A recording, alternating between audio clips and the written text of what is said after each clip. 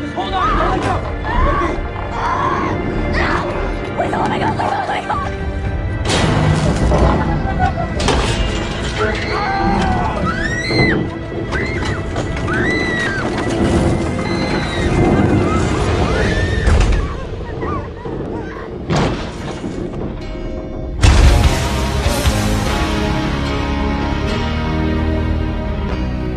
You know our love was meant to be